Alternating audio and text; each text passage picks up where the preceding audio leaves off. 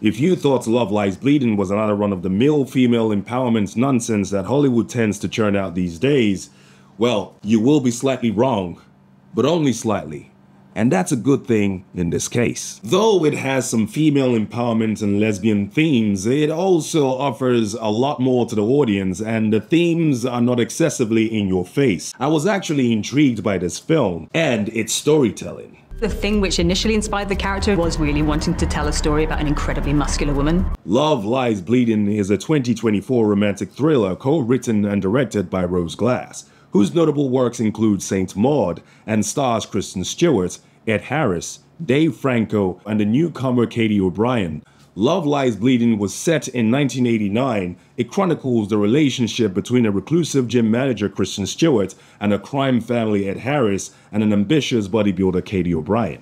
Love Lies Bleeding is an original screenplay written by Rose Glass and Weronika Tofilska, so this time around, it's not an adaptation from a novel in case you were wondering. This film contains a lot of vulgarity and some in-your-face sex scenes, so to speak, also coupled with a few questionable yet artistic gross scenes.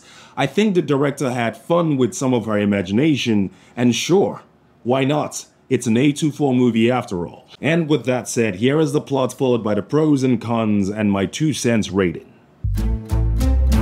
A gym manager Lou falls for Jackie, a bodybuilder who is passing through town en route to a competition in Las Vegas. But during her brief stay in town, a series of unfortunate events occurred leading to a fair few murders. Now the couple try to tie up loose ends and skip town. Now for the pros and cons of this film, starting with cons. Con number one. There is some emphasis on bulging muscle of a She-Hulk like scenario that doesn't pay off as well as it could have in the end. Con number two. All the men in this film have no redeemable qualities, and that's a little unrealistic. However, it's just a film and it's not that deep. And that's it for cons. Let's move on to pros now. Pro number one. Kristen Stewart and Katy O'Brian gave a pretty convincing performance in their respective roles. Their chemistry on screen was pretty believable. Pro number two. Ed Harris was also fantastic as a menacing presence as usual. We've seen him play this archetype in other movies, so he delivered as usual in Love Lies Bleeding. Pro number three. I really enjoyed the pace of this film. It doesn't feel rushed, and you had reasons to care about each character on screen.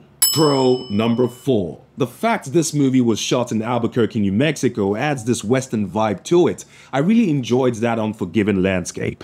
Pro number five. The cinematography by Ben Fordesman was fantastic, stunning even, because it helped elevate the movie to appear very high budget, even though it was shot on an indie budget. Pro number six.